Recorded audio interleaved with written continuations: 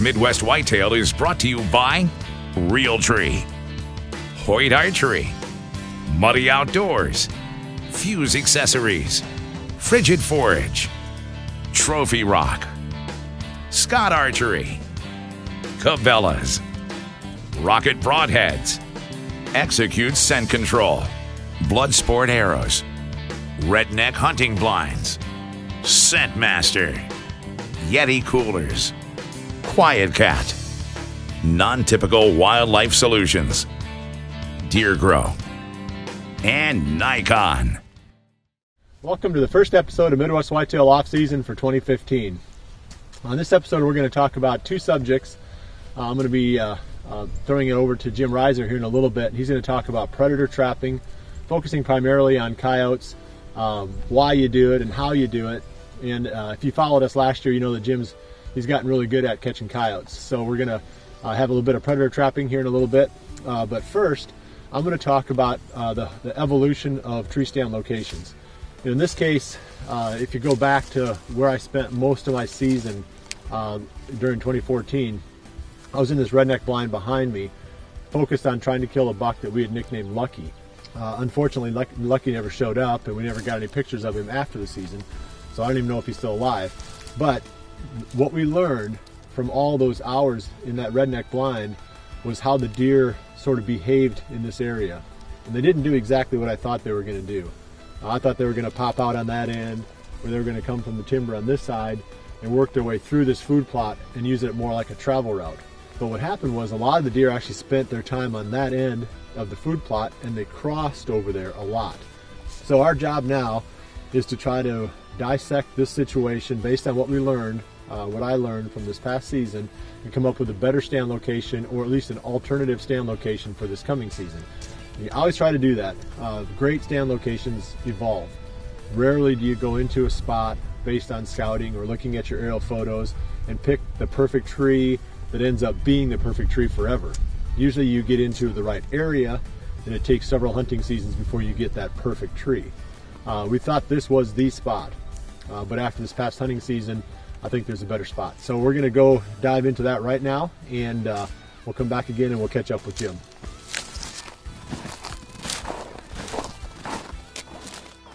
Okay, now we're on the other end of the same food plot. This is where the action was taking place mostly last season. And uh, my goal in today's scouting session is to pick, I've got two spots in mind. I'm gonna, I'm gonna have a little discussion about why I'm gonna have a blind off to my left here. Then I'm gonna also talk about trying to find the perfect tree uh, for morning hunts. This area worked really well in the afternoons, decent in the mornings, but really in the mornings you'd like to be closer to bedding areas or at least in the cover near travel routes afternoons near food. I'll start by talking about this location to my left. Um, and this would be within, oh, right where I'm standing now is about 30 yards, 35 yards to where that big scrape was underneath that tree. And the deer would come out of that trail straight in front of me. They'd come out of there and they would circle around this really heavy thicket in front of me and they would pop back into the timber again. Lots of deer made that loop back and forth we would see them for a little while, then they'd be gone, and they never came on the other end of that of the food plot. So we know they were cutting across and going into the timber here somewhere. So my first thought is we need a blind here uh, so that we can get in here and hunt this thing in the evenings where we're closer to where the deer are coming out. So I've got a redneck blind on a trailer. So my thought is plant this to corn again, but first have that redneck blind pushed right up next to that walnut tree right here. So that's our, our first plan. Get the blind on the trailer, tucked in here before the planting season. But uh, we're going to focus then on finding this perfect tree. And uh, what I really think the deer are doing, they're coming out of here, like I said, in front of me, going around this thicket, and then just circling it, and then heading back in the same direction that they came from, but on the other side of the thicket. And there's a ditch. Uh, this whole this whole thing is a draw to my left, and there's a ditch at the bottom. So someplace down there, there's going to be a, a place where the deer are crossing that ditch. There should be a real heavy crossing and then where they pop up on the other side, come up, coming up out of the ditch, uh, we should be able to set up there. So that's what we're going to go look at now. Uh, we, we, will we will bring that to you uh, all the way through the completion of picking out the tree. Uh, I don't know what's in there. I, I, can't say I've ever even scouted it, but uh, that's what I think is going on. So we're going to take a look right now and see if that's the case. This is pretty much what I was looking for right here. You can see the classic ditch funnel. And uh, if you hunt broken terrain a lot, uh, today's lesson might be more about how to use terrain to find travel routes than it will be about which exact tree I'm going to put my stand in. But you can see the ditch is really deep here. And here it's really gradual. I mean, I can step over this thing no problem at all. It's only about six inches deep. Well, right there, it starts dropping off, and over here it's probably about 10 in, or 10 feet deep. So the deer are going to go around that. They're not going to try to jump that thing, and they're not going to go through it unless they're pushed. Uh, that's natural movement. The deer are going to take that path of least resistance, and that's going to be around the end of the ditch. So this is what I was looking for. I didn't know this was here, which is you know, probably surprising, but I haven't scouted every corner of this farm. The next step here for me now is uh, uh, trying to figure out the deer coming off that field. That's the food plot right above me, only 45, 50 yards away up on top of this ridge. They're coming down through here and they're going to go somewhere. But this is not a bad spot, really. I mean, it's not super deep here where we're going to get a lot of wind swirl. I mean, this, this uh, valley is probably only 20 feet deep and it's not very wide. But let's keep going and keep scouting and we'll come back to this spot and talk some more.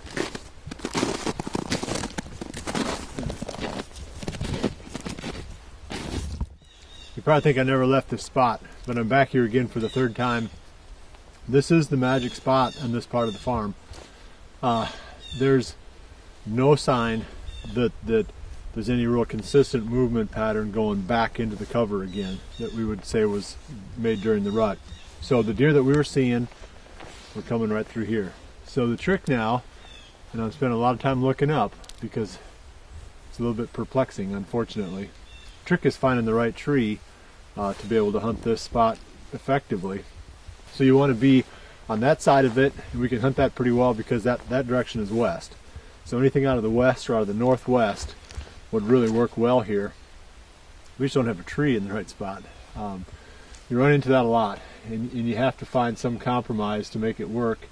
Uh, a lot of times there's trade-offs in the trees that you end up having to pick. I want to look at this for a little bit longer. We got a shingle oak tree that's only about eight yards away. It's not a real big tree. It's a little bit too close. Uh, the next best option is going to be one of these cedar trees. And there's one over there that's about 20 yards away that might work. Uh, right over there, 25 yards. That one might work. Um, I'm to look a little bit longer right here before I decide on a tree. I mean, that, that cedar tree right there is too close. Yeah.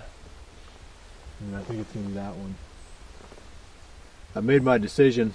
I'm just a little short ways away from the crossing. That shingle oak tree I was talking about is right here, and it's just too small. Uh, there's there's enough additional trails, kind of all coming in together here, and one from behind me, that there'd be there'd be too much deer activity too close to that little bitty tree. So I'm going to have to step back a little bit further than I wanted to, and uh, I'm not going to be able to keep every single trail on the upwind side. I'm to go up to that cedar tree, which you can see part way up the hill. That'll give me a 25 yard shot to the crossing. Uh, should be able to have pretty decent angles there for a broadside shot. And that'd give me about probably similar, you know, probably a 25 to 30 yard shot to the field edge. So, like I said, there's usually some type of a trade-off or a compromise that you have to make when you can't find the perfect tree, unfortunately. But we're going to be in that tree. So come back again next week and we'll go through the whole process of figuring out exactly where in the tree to put the stand, uh, talking about heights, tree stand heights, how much uh, cover to cut, you know, how many, you know, how big to make your shooting lanes. So, uh, so far I've got this one nailed down, I think. I'm pretty excited about it because I think this is going to be a great morning spot during the rut. We're going to jump to Jim Ryser now and talk about trapping coyotes. This is Jim Ryser for Midwest Whitetail, and I'm going to be taking you through my trapping season this year. I have a new property to trap because I've got a friend who has problems with coyotes and some fox and he really wants as many egg eaters off of his property as possible. Now this property that I'm trapping on is a really nice natural funnel. It sits on 80 acres of land and the woods is right back behind a creek uh, area. Um, the creek comes right at the very base of his property. So it's a natural funnel for game to come underneath the bridge or perhaps on one side of the street to the other, from one wooded area to the other, to go right alongside this field or actually right inside the woods. So one of the first places I want to put my traps is right in that area where those funnels meet. Then as you can see in the aerial view, you can get an idea of how these woods work. And then as we walked alongside of the woods, you can see the game trails themselves. And the game trails themselves are very telling. Um, quite frankly, if you've got something where there's logging trails, or if there are four-wheeler trails, or game trails themselves, you can put your traps right along those edges there. And you may use a dirt hole set, you may use a flat set, or you may use a signpost set. Um, and I'm going to take you through all three of those along with the kinds of traps that I use. I have two basic trap sets that I'm using this year. I have the one that was kind of my beginner set, and this is a Bridger, this is a Bridger number two. But uh, these are good traps, and some of the features on the traps, this is the dog, this is what actually holds the trap open when you open the jaws here.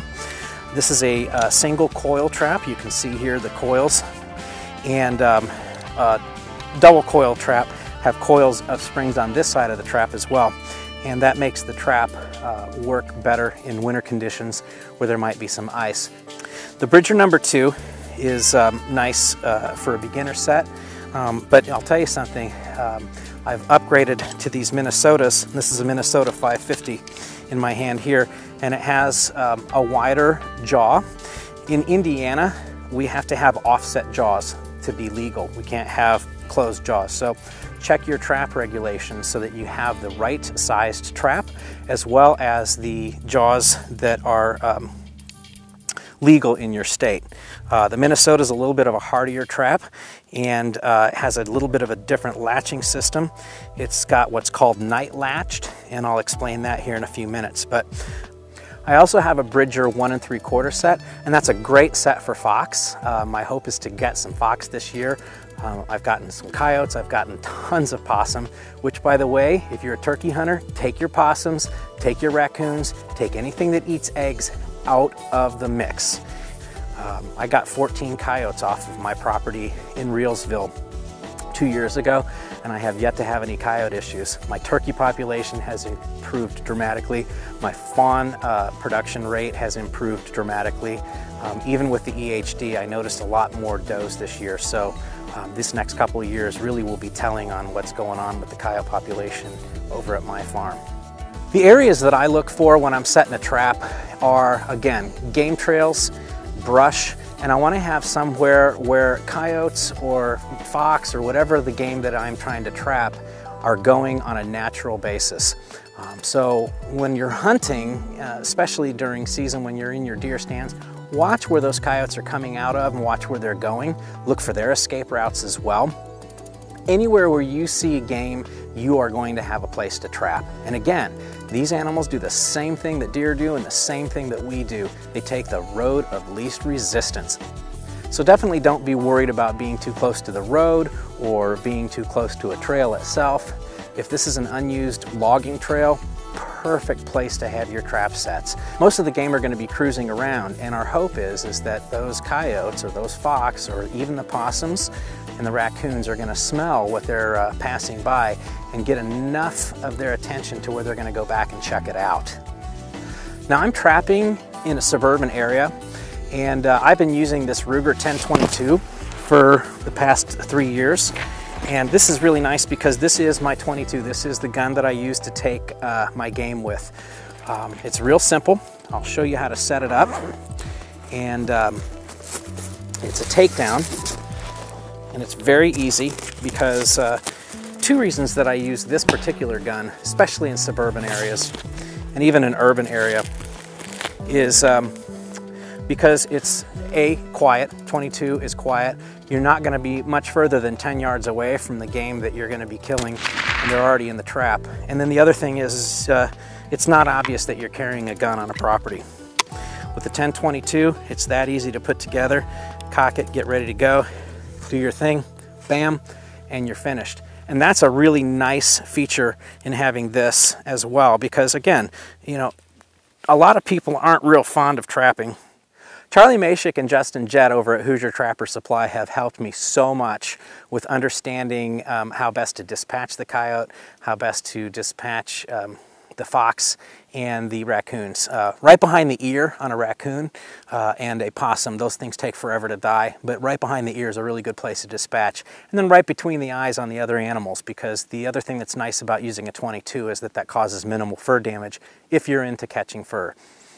With regard to quality of pelt, with coyotes, it's not nearly as pleasing to the eye to have red in it, so they look for silver or black. And I've got a few pelts out of the 14 that I trapped a couple of years ago. I've got three really super, super high quality pelts. And I actually paid to have them tanned, and they did what's called a tube skinning, where they skin the entire coyote, but they don't cut any of the skin itself. And it's a real pretty, nice, completely uh, supple coat um, that right now I'm just using for display, but I may opt to use them at some point. With fox pelts, um, you're looking for, as far as quality is concerned, looking for those dark, dark, dark legs and dark tail. Uh, the the um, juvenile fox and the young fox uh, have a tendency to be more red all over. So uh, you're looking to get the best quality pelt. If you are a pelt guy, you can get 70 to 80 to 150 bucks on a pelt. So, you know, trapping can pay for itself. Um, I'm not really that much about pelts. I'm really into getting them trapped, getting a couple of mounts out of them because I find them to be absolutely beautiful. But for the most part, uh, I'm not going to be selling anything. I'm just interested in getting them off the farm. Made it back to the truck here right by the redneck blind and uh, feel pretty good about that spot that we found. This is the time of year to do this type of work. But uh, we'll be back again next week talking about exactly how to put that stand in. We'll probably have some shed hunting for you. So we'll bring it all to you with the next episode. So come back and join us again next week for the next episode of Midwest Whitetail. And remember to always dream big.